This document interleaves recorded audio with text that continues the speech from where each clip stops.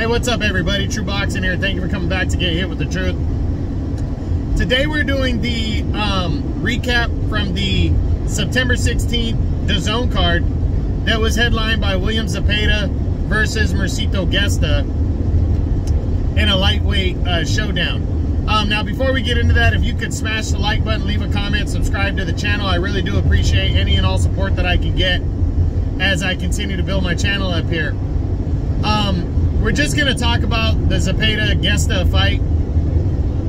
It was a good, a good, uh, you know, um, matchup of of uh, Jojo Diaz beaters. I mean, both these guys in consecutive fights got had victories over Joseph Jojo Diaz, the former junior lightweight champion of the world.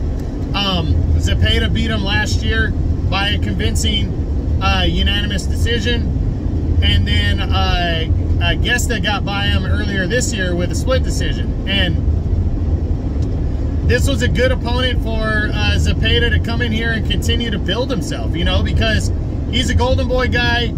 Um, he's undefeated, throws a lot of punches, and he punches with power. So he's not a guy that people are lining up to fight.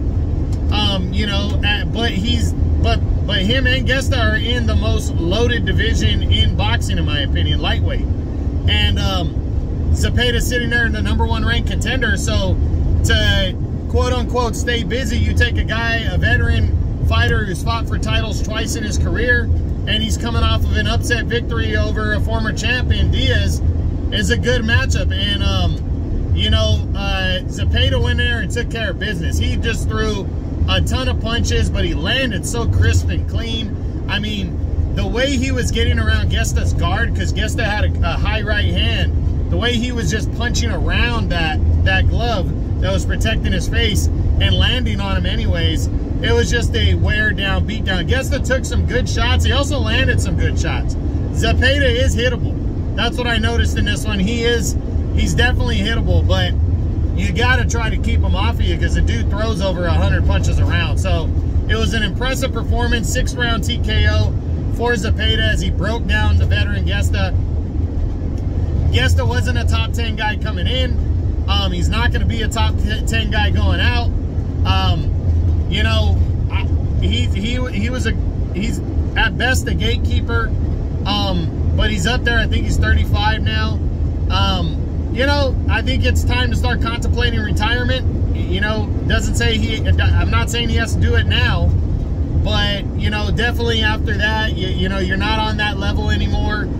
And, um, it's time to consider it before you start taking too many shot unnecessary shots. And um, I think that's where Gesta is to decide that in his career. But nothing to hang his head about. He can go out saying he beat Jojo Diaz in his last year, and then he took a shot at a top 10 guy, a guy ranked number one in the world, and, excuse me, and just lost to a very good fighter.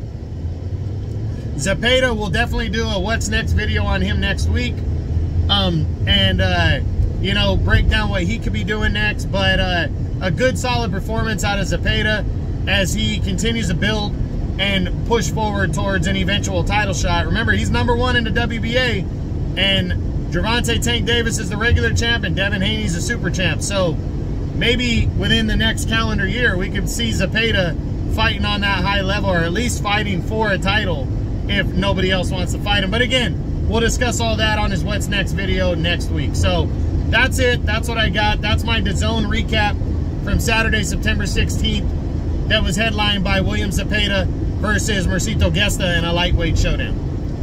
Hope you enjoyed the video. If you did, smash the like button, leave a comment, subscribe to the channel. I appreciate any and all support. This is TRU Boxing. You've been hit with the yeah, you've been hit with the truth.